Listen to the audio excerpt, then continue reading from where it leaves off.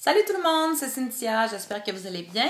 Alors, me voici pour mon update, ma mise à jour, mon compte rendu de ma deuxième semaine complétée euh, depuis que j'ai eu ma, mon opération euh, de sleeve euh, gastrectomie, chirurgie de l'obésité. Donc, mes chiffres. au début de ce parcours, en décembre, j'étais à 280 livres. le jour de l'opération, j'étais à 238. Aujourd'hui, je suis à 229. Je suis rendue dans les 220. Donc, ça descend, ça descend. Euh, donc, depuis la semaine passée, j'ai perdu 2,6 livres. Euh, ce, qui est, ce qui est beaucoup, puis ce qui est pas beaucoup, parce que je sais que ça devrait être plus que ça. Euh, donc, j'ai perdu 51 livres depuis le début de mon parcours, ce qui est quand même. Ouais, vraiment, je suis contente. c'est quand même beaucoup de livres. Hein. Prenez 51 livres de beurre, mettez-le dans un sac c'est ça que je ne traîne plus sur mes épaules et mon pauvre squelette maintenant, donc euh, ça va continuer. Euh, mais euh, je vous avais parlé la semaine passée de mon petit problème de tuyauterie. je vais plus aux toilettes. Ben, c'est pas mieux cette semaine. Là, je me suis fait un nouvel ami qui, j'espère, va pouvoir m'aider. Métamucil. C'est comme les petits vieux, hein? à un moment donné, ça prend de l'aide. Euh, donc, ça fait cinq jours aujourd'hui que je n'ai pas été aux toilettes. Ça commence à être critique. J'ai le ventre comme un gros ballon prêt à exploser. Mais qu'est-ce que tu veux, c'est la vie. Euh, quand on mange pas beaucoup, euh, ça a l'air que ça marche pas, mon affaire. Donc, j'espère vraiment de, de, régler mon problème avec mon ami Métamucil.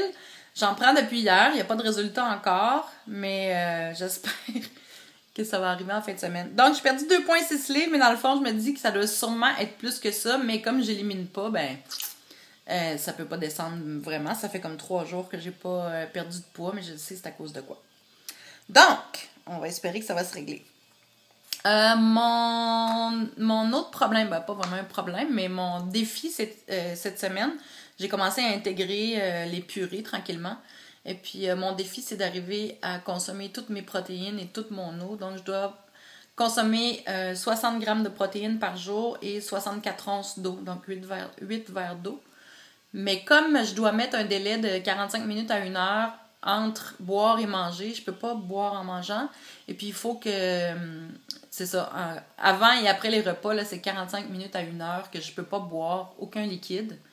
Euh, c'est ça les règles maintenant. Jusqu'à la fin de mes jours, ça va être comme ça. Donc j'essaie de m'habituer à ça, mais c'est pas évident parce que euh, quand tu peux manger juste à peu près une demi-tasse par repas, puis t'es plein, ça, tu peux plus avaler une seule bouchée, ben c'est tout un défi d'arriver à 60 grammes de protéines parce que tu manges pas assez. Donc, il euh, faut pas que je me lève trop tard le matin, sinon, c'est ça. faut que je me lève de bonne heure pour pouvoir manger toutes mes protéines et boire toute mon eau. Donc, mon défi cette semaine, c'est d'essayer d'arriver à.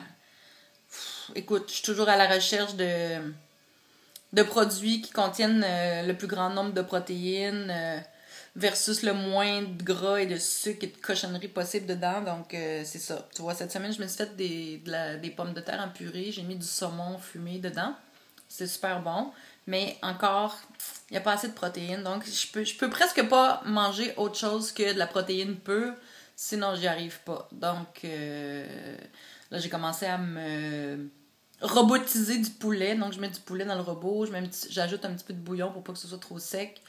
Puis, euh, je me concentre sur les protéines pures. Dans le fond, euh, c'est ça qu'il faut que je fasse pour éviter de perdre ma masse musculaire puis de perdre dans le gras et d'avoir de l'énergie.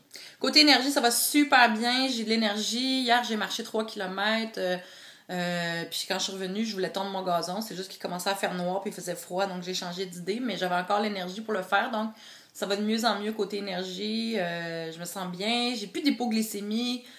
Comme avant la chirurgie, là, quand j'étais sur la diète préopératoire avec les barres de protéines, j'étais toujours en hypoglycémie, j'étais faible pas capable de me concentrer. Là, ça va super bien. Je me sens vraiment comme moi-même. Je me sens normal euh, avec mon niveau d'énergie euh, que, qui, qui, est moi. Là. Je me sens bien.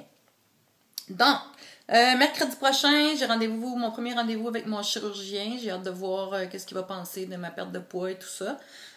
côté guérison, ça va super bien. mes cicatrices commencent à guérir. J'ai de moins en moins de tiraillements dans le bedon quand je me tourne dans le lit. Je sens presque plus rien. Euh, ça va super bien, donc euh, je suis pas trop inquiète. Et puis, euh, il y en a qui l'ont vu sur Facebook, mais j'étais vraiment contente cette semaine parce que j'ai eu une petite victoire qui n'a pas rapport avec les chiffres sur la balance. les deux bagues ici, celle-ci et celle-ci. Ça faisait plus de 10 ans que je les avais pas portées parce qu'ils rentraient plus dans mon doigt. Ils rentraient, ils même pas à la première jointure. Ça rentrait plus là, du tout, du tout, du tout dans le doigt où il allait. Puis, euh, écoute, son, même son lousse un peu, là, je, suis vraiment, euh, j'en reviens pas. Fait que c'est là que je vois vraiment euh, la différence. Quand je regarde mes photos aussi de l'année passée, mon voyage à Cuba et tout ça, je fais comme, ok, ouais, là, ça paraît. Ma face commence à dégonfler, double menton commence à diminuer, donc madame est bien contente. c'est bon pour le moral. c'est vraiment bizarre, pareil, parce que je perds vite pas trop quand même, mais je, vois bien à chaque jour, ça descend un peu. Là, puis, comme ici, là, avant, mes joues étaient vraiment gonflés. Puis ça commence à, à s'aplatir. Et puis, euh, c'est vraiment cool. Donc, ben, j'ai tout dit, j'ai tout dit? Euh, je pense que oui. Donc, c'est ça euh, ma mise à jour de cette semaine. Donc, tout va toujours bien. Euh, je pète le feu. je suis de bonne humeur. et puis, ah oui, je veux m'inscrire parce qu'il faut que je commence à m'entraîner bientôt. Je vais voir la semaine prochaine si j'ai le go de mon médecin. D'après moi, je vais l'avoir. je regardais qu'est-ce que je pourrais faire comme entraînement. Puis, je suis un peu tannée de l'entraînement traditionnel. Puis là, ça fait un bout de temps que je vois plein de de vidéos et puis de, trucs sur Facebook sur l'entraînement CrossFit.